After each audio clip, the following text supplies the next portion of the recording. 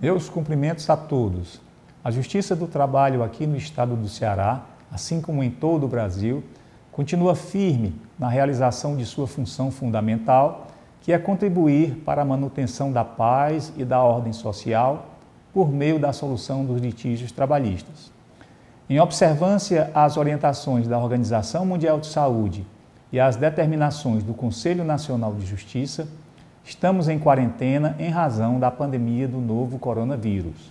Isso implica a suspensão temporária da prática presencial de atos processuais, incluindo o atendimento ao público.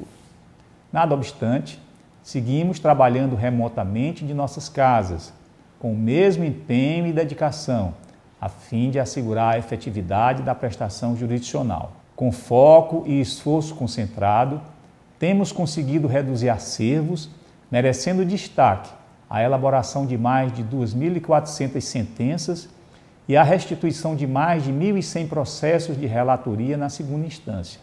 Isso apenas entre os dias 13 de março e 5 de abril. Temos dispensado especial atenção aos pedidos e procedimentos que envolvem a liberação de valores, como alvarás e precatórios.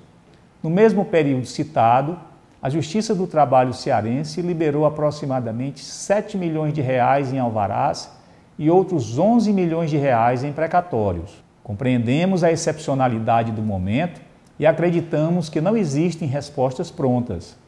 Por isso mesmo, temos apostado no diálogo com os diversos atores que atuam na Justiça do Trabalho, como a Ordem dos Advogados do Brasil, o Ministério Público do Trabalho, entidades de classe de magistrados e servidores. Nesse sentido, é oportuno destacar duas iniciativas recentes que certamente tornarão mais efetiva a atuação da Justiça do Trabalho nesse período. A primeira delas é a regulamentação das sessões virtuais de julgamento no segundo grau, o que possibilita que os processos em grau de recurso continuem sendo julgados.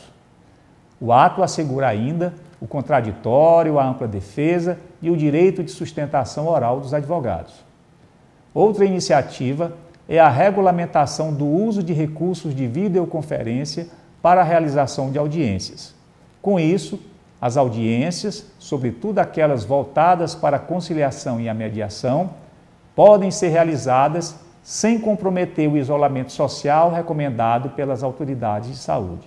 Há ainda outras iniciativas em andamento, como o projeto conjunto que este tribunal está desenvolvendo em parceria com o Ministério Público do Trabalho, a fim de destinar ao combate do Covid-19 recursos provenientes de ações coletivas. Estamos atentos para atuar e corrigir os rumos das nossas ações, se assim se mostrar necessário. É um momento para somar esforços e fortalecer parcerias. Por isso, reafirmamos a importância do diálogo e nos colocamos à disposição de toda a sociedade. Temos a certeza de que, com união e trabalho, podemos amenizar os efeitos desta crise e superá-la da melhor maneira possível. Muito obrigado a todos.